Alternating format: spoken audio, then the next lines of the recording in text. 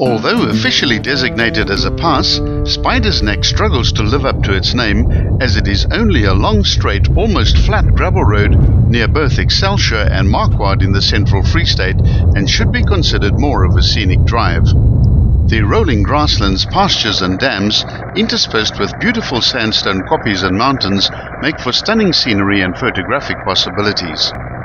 The peace and tranquility of the area is enhanced by the birds and animals all around you and disturbed only by the occasional farm vehicle. The road is in a good condition and can be driven in any vehicle except possibly in bad weather. We filmed this pass from north to south. At the start, the road heads in a southeasterly direction, ascending so gradually that it's almost imperceptible. There's an attractive farmstead with a large lake adjacent to it on your right hand side.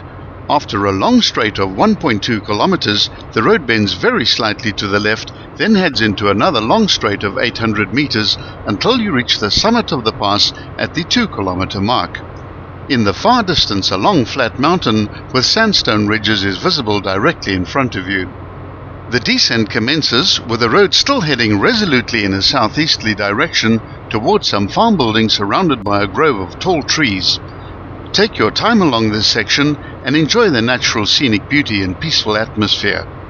As you pass beneath the cooling shade of the trees, a slight rise is evident, and you'll need to pay slightly more attention at this point in case of animals or farm vehicles which might be encountered. Back into the sunshine, and the road continues its descent with more vegetation becoming prominent on your left hand side as the road edges ever closer to the Klein Vetrivier, which now follows the path of the pass. Another farmhouse is passed on the right hand side at the 4.8 kilometer mark, and the road bends ever so slightly to the right.